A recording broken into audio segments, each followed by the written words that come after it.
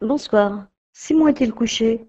Euh, bonjour, non, il est prêt à aller au lit, mais je l'ai laissé debout pour que vous puissiez le voir. Comment est-il aujourd'hui? Oh, il va beaucoup mieux. Il semble qu'il aille bien maintenant. Bon, je monte le voir. Je peux lui lire un livre le coucher? Oui, s'il vous plaît. En ce moment, son livre préféré est Spot.